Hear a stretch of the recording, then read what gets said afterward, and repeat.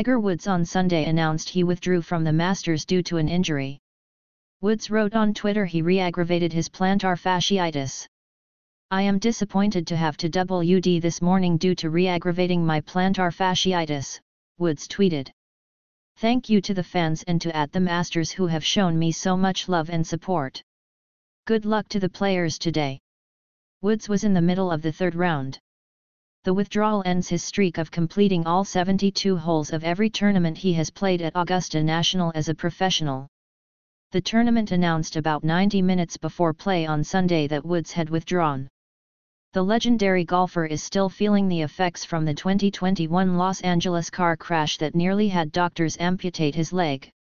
Woods made the cut even as he battled the injury, cold, and rain. He extended his Masters streak to 23 straight cuts when he finished 3 over PAR. He is tied with Fred Couples and Gary Players. When he started the third round, Woods didn't start out too great. He had a bogey on the 10th hole and added another on number 14.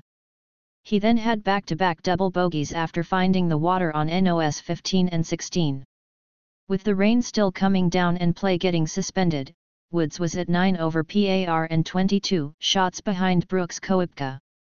Tiger Woods watches his tee shot at the Masters on Friday, April 7, 2023, in Augusta, Georgia. I've always loved this golf course, and I love playing this event, Woods said after the second round. Obviously I've missed a couple with some injuries, but I've always wanted to play here. I've loved it. Woods had finished all four rounds last year. He talked about his mobility again before the tournament began. Yeah, mobility, it's not where I would like it, he said.